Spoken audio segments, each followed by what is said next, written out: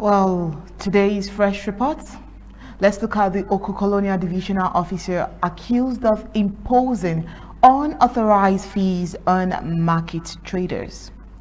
Allegations have surfaced across the southern Cameroons of colonial administrative overbearance in Mbengwi Bamenda and now currently held by a colonial divisional officer in Oku is being used to financially exploit local traders.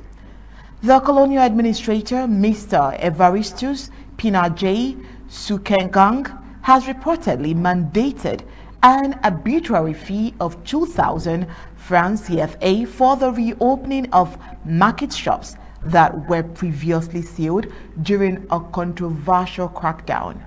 Apparently, the objective colonial government, in their grand scheme, are only seeking to ensure normalcy at all costs.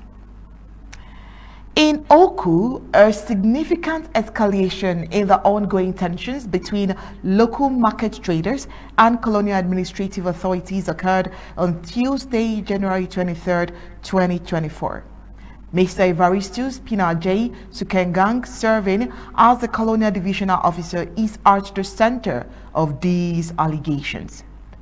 Early reports indicate that a heavily guarded Mr. Kengang ordered the closure of all shops within the main market of Oku. Sources confirms that traders have already lost a day of business due to the traditional observance of Ghost Town on Monday.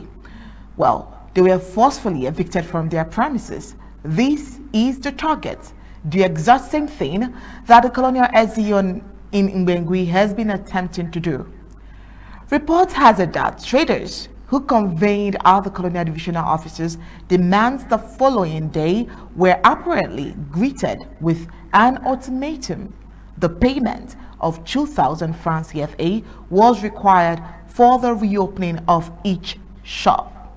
Compliance with these demands resulted in significant financial pressure on the shopkeepers. And while payments were made, the discontent simmered. Well, according to the Colonial Divisional Officer, the action was in response to the trader's failure to attend a meeting he had called on the preceding Sunday and Saturday. This has brought into question the methods of governance and the legitimacy of imposed levies in that locality, sensitive to historical colonial legacies and the ongoing genocide. This incident raises concern about the use of colonial administrative roles in contemporary governance in the Oku locality of Bui County. Shop owners and local civil rights groups are calling for a transparent inquiry into this matter as the enforced fee has no clear legal basis and seems to be a punitive measure for non-attendance at the colonial governmental meeting.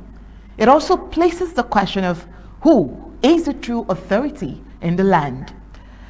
The government of Ambazonia, who calls for ghost down all the colonial government who is seeking to maintain the Franco-Cameroon hegemony. Well, the situation in Oku is developing and further reports will emerge as more details will become available.